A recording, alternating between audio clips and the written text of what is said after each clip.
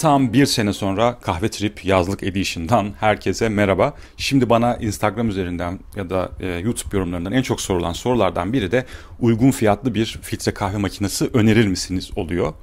Şimdi e, önceki videolarımdan görmüşsünüzdür belki. E, ben evde normalde Mocha Master kullanıyorum ki bu oldukça ileri düzey, çok iyi fincanlar çıkarabilme potansiyeline sahip bir filtre kahve makinesi, el üretimi vesaire. Ama tabii nitelikli kahveye yeni giriş yapmış bazı kullanıcılar doğrudan bu kadar yüksek fiyatlar e, ödemek istemiyorlar filtre kahve makineleri için ve daha makul fiyatlı ürün arayışı içerisindeler. Şimdi açıkçası ben de e, yazlık için bir filtre kahve makinesi ararken MediaMarkt'ta e, bu ürünü buldum. Ürünü geçen sene bu zamanlar satın aldığımda fiyatı yaklaşık 300-350 lira arasıydı yanlış hatırlamıyorsam. Şimdi bugün baktım yani Ağustos 2020 itibariyle baktım.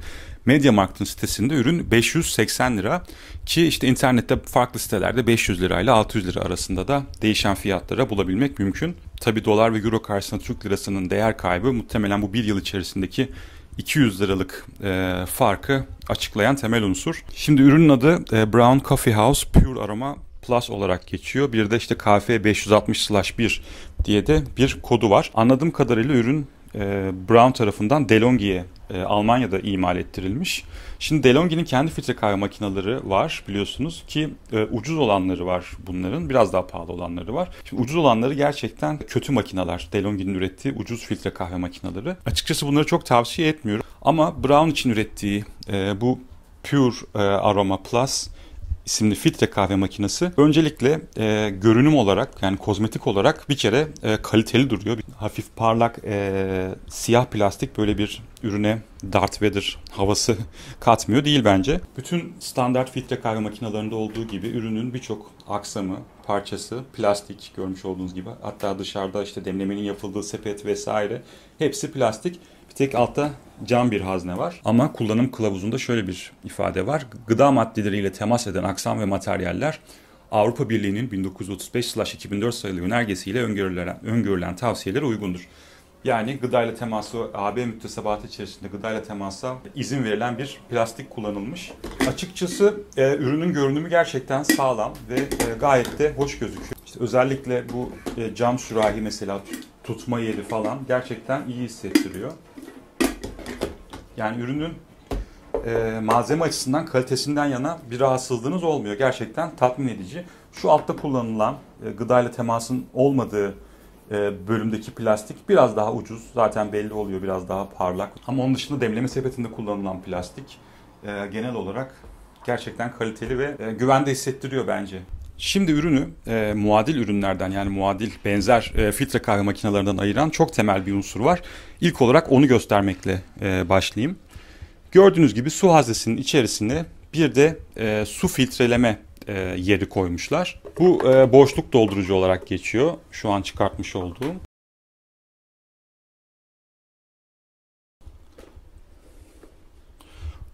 Burada Brita tarafından tasarlanmış Pure Aqua isimli bir filtre kullanabiliyorsunuz. Şimdi bu standart Brita filtrelerinden değil. Yani tipi ve şekli ve yapısı oldukça farklı. Dolayısıyla bunun içine oturan o Pure Aqua denen filtrelerden tercih etmeniz lazım. Ürünü satın aldığınızda içerisinden bir adet çıkıyor paketin ama e, daha sonra almak isterseniz dün bir piyasa araştırması yaptım. Filtre e, başına yaklaşık 100 lira ödemeniz gerekiyor ki biraz yüksek bir miktar bence. Filtre kullanmadığınız durumlarda bu kapatıcıyı içerisine geri koymanız gerekiyor.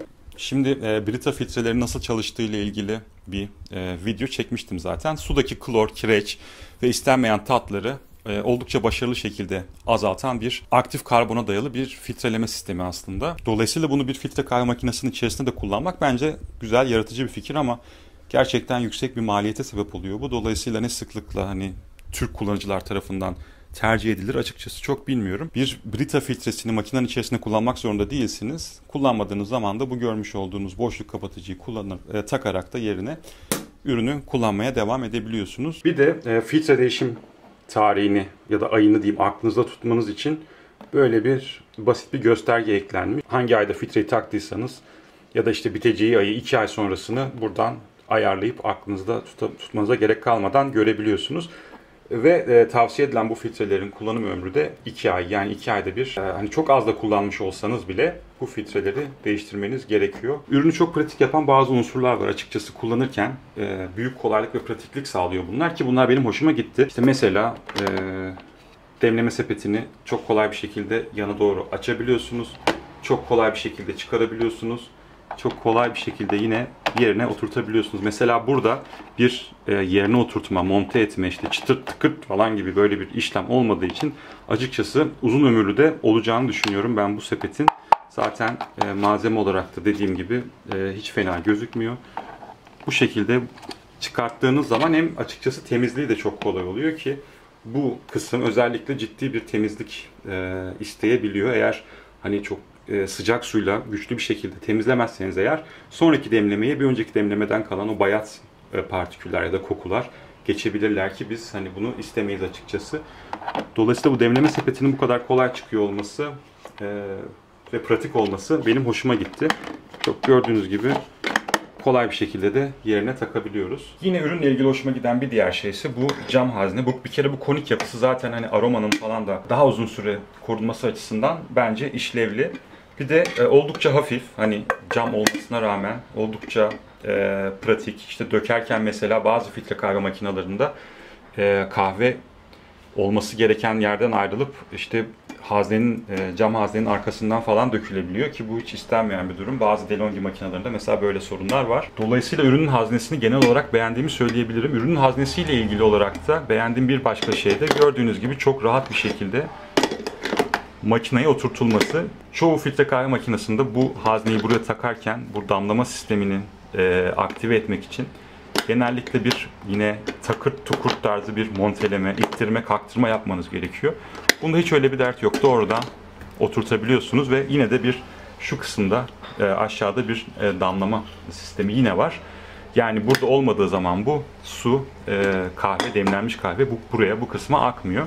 Bunu koyduğunuz zaman e, sistem yine aktif oluyor. Oradaki kol kalkıyor ama bunu size hissettirmeden yapıyor olması bence güzel bir pratiklik sağlıyor. Su haznesini de bu kısımdan dolduruyorsunuz. Açıkçası burası da bana oldukça kullanışlı geldi. Yine bazı filtre kahve makinelerinde e, makineyi suyla beslemek gerçekten dert işte. Hani bardakla koysanız dökülüyor falan. Hani burası geniş bırakılmış gayet rahat bir şekilde e, besleyebiliyorsunuz ürünü suyla. Burada e, genelde her makinede olan standart e, ölçü kısmı var.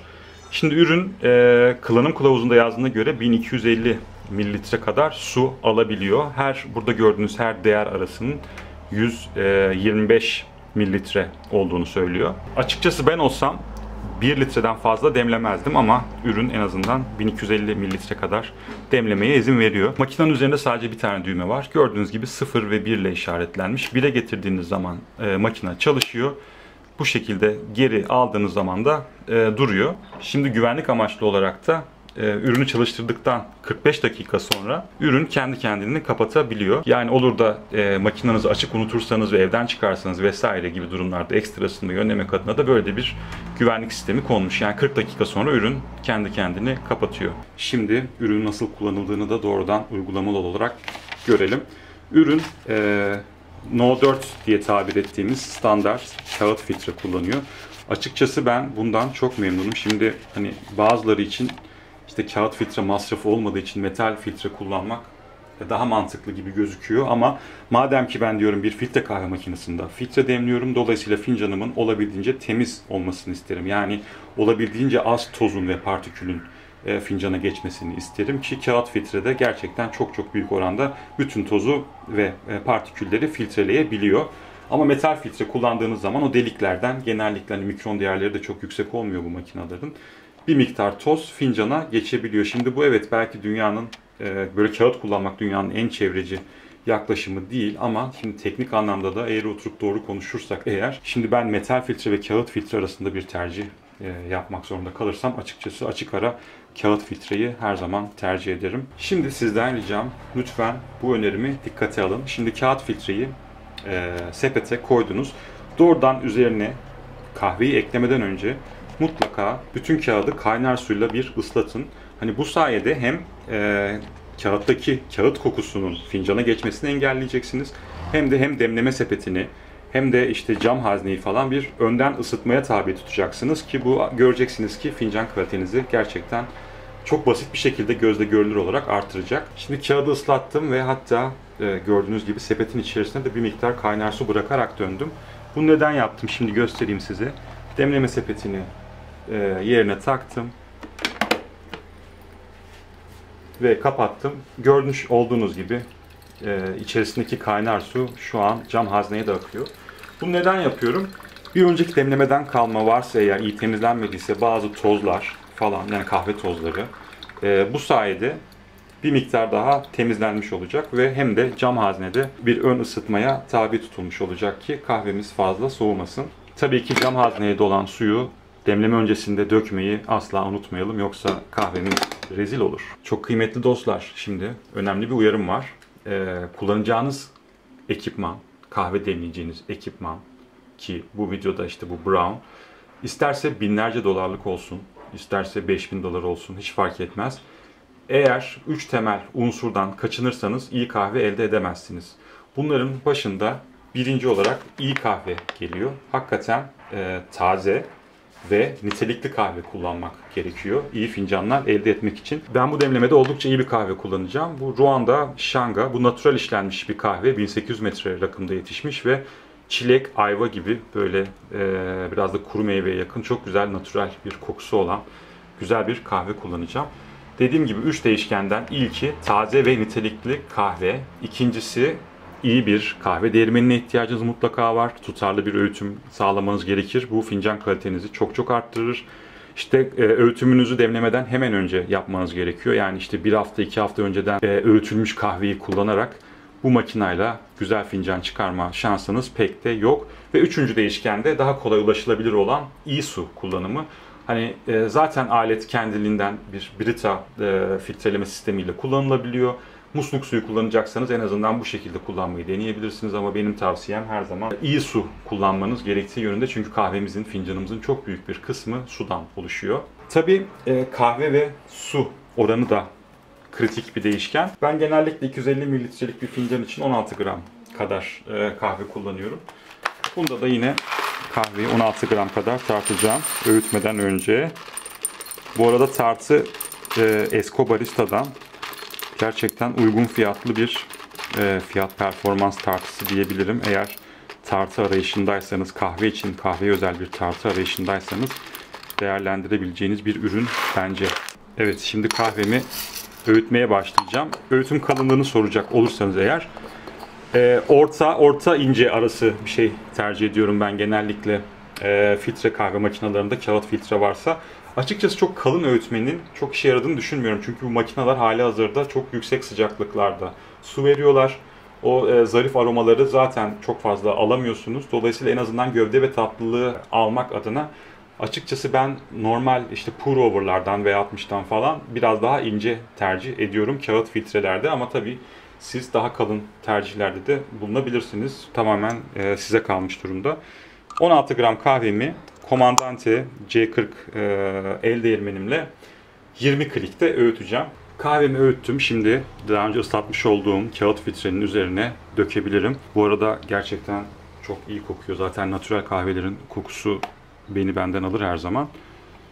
Böyle çok e, kağıt filtrenin ortalarına üstlerine doğru gelmeyecek şekilde tam hani olabildiğince hepsi dibe gelecek şekilde döküyoruz. Şimdi burada yatağı e, yani kahve yatağını düzleştirmek faydalı olabilir. Dolayısıyla şöyle ufak bir sallamayla filtre kahve e, yatağını da düzeltebiliriz. Daha sonra zaten demleme sepetini kapatabiliyoruz. 250 mililitre suyumu da ekliyorum hazneye. Şimdi işin bundan sonraki kısmını artık makineye bırakıyorum.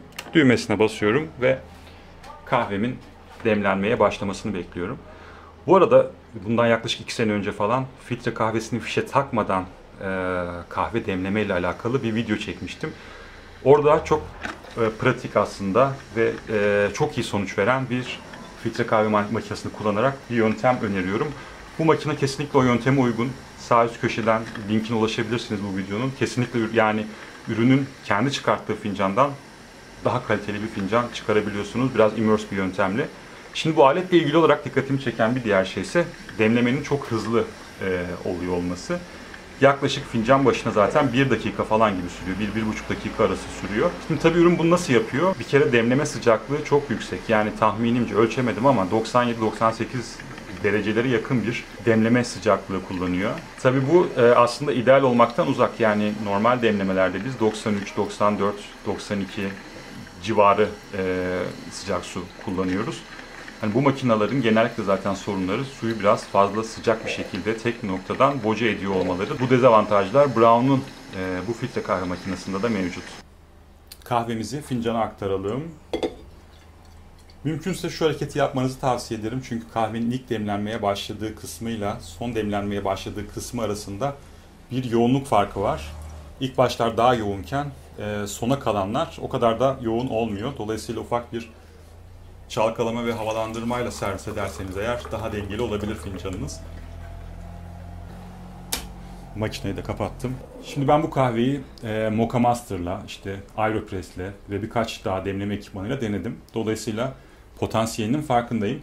Bakalım bu 500-600 lira arası bir fiyatı olan e, Brown Coffee House bu potansiyeli ne kadarını ortaya çıkarabiliyor? Deneyelim. Öncelikle bu aletle ilgili en büyük sorunlardan birini bence yüksek sıcaklık oluşturuyor. İşte birçok insan filtre kahve makinesinin yeterli sıcaklıkta e, ürün sunamadığından şikayetçi olabilir. E, ama aslında nitelikli kahve çok çok kaynar kahve asla değildir. Dolayısıyla ilk e, fincan sıcaklığının, e, sunum sıcaklığının yüksek olması bir dezavantaj.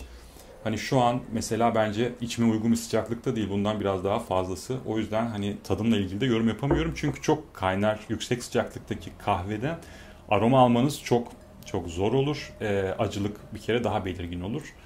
Dolayısıyla kahveyi en azından hani sıcak demlendiyse bile hani haddinden fazla sıcak suyla demlendiyse bile belki de içmeden önce 1-2 dakika bekletmek gerekebilir. Nitekim normalde ben e, fincanımı önceden bir ısıtıyorum ki hani ısı kaybı olmasın diye bazı işte pour over yöntemlerde bunda ısıtmadım da hani ısı kaybı mümkünse biraz olsun ve daha rahat içebileyim diye.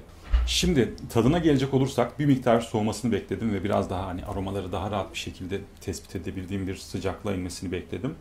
Eğer fincandan beklentiniz çok zarif ve kompleks aromaların da e, içerisinde olmasıysa e, bir kere bu tarz bir filtre kahve makinesi asla sizin için uygun değil. Önce bunu bir tespit etmekte fayda var. Şimdi bu e, zarif ve kompleks dediğimiz aromalar bazı asitler sayesinde taşınıyor ve bu asitler belli bir sıcaklığın üzerinde demlendiyse eğer kahveniz tespit edilemeyebiliyor fincanda.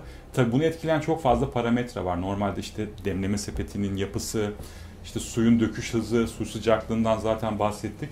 Bu filtre kahve makineleri, bu standart olanlar diyeyim, e, bu kadar zarif ve kompleks fincanlar çıkarma e, becerisine asla sahip değiller. Ha mesela işte daha yüksek e, klasmandaki ürünler işte Sage olabilir, Breville'in bazı modelleri olabilir ya da işte Mocha Master benim kullandığım olabilir. Bunlar da alabiliyorsunuz. Evet o çünkü e, demleme tarzı zaten bu aromaların da fincana yansımasını sağlayacak şekilde tasarlanmış bu ürünlerin ama bu makinalarda böyle bir e, seçeneğiniz fazla yok. Peki fincanlarınız çok mu kötü olacak bu zarif ve kompleks aromaları e, fincana taşıyamadığınız için? Aslında hayır. Eğer e, kahvenizden beklentiniz tatlı olması, dengeli olması, işte belki yoğun gövdeli olması ve bir miktar o canlılığı asiditeyi de hissettirmesi ise eğer bu e, Brown'un Pure Aroma modelinin gerçekten ben başarılı olduğunu söyleyebilirim. Hani sonuçta bir de piyasada çok fazla model var. İşte Simbo C754-AKY falan bazen soruyorlar. İşte bu model hakkında ne düşünüyorsunuz diye. Ben hani piyasadaki bütün e, filtre kahve makinelerinin deneme gibi bir lüksüm asla olmadı. Sadece doğrudan işte kullandığım birkaç tane model var. Onlar hakkında ben de bilgi sahibiyim. Piyasada çok fazla model var e, bu klasmanda diyeyim çok fazla model var. Bir kere en en ucuzlarından biraz sakınmak lazım. Hani 100 lira altı ya da 200 lira altı bazı modeller var ki bunların hani ben açıkçası insan sağlığı içinde zararlı olmayacaklarına dair pek şans vermiyorum. Brown'un çıkarttığı fincana gelecek olursak bir kere kahvenin natural olduğunu rahatlıkla tespit edebiliyorsunuz.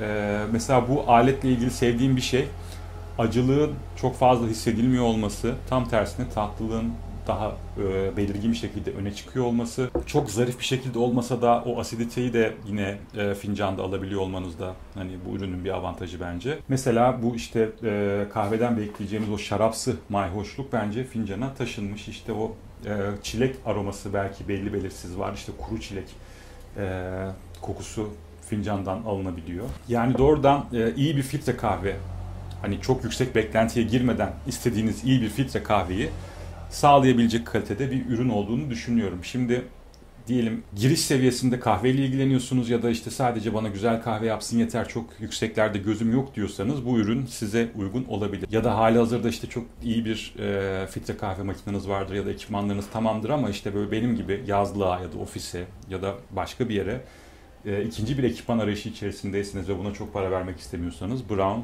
bu modeli bence yine e, tercih edilebilir bir ürün olarak düşünülebilir. Lafı çok da uzatmaya gerek yok. Yani özetle dengeli, tutarlı, tatlı, güzel fincanlar alabiliyorsunuz bununla ama beklentinizi de hiçbir zaman çok yüksek tutmamanızda fayda var. Olabilir insanlık hali belki ürünle ilgili çok atladığım temel bir şeyler vardır. Eğer varsa böyle bir şey lütfen e, yorumlara soru olarak yazabilirsiniz. Ben de sizin için cevaplarım. Beni izlediğiniz için çok teşekkür ederim.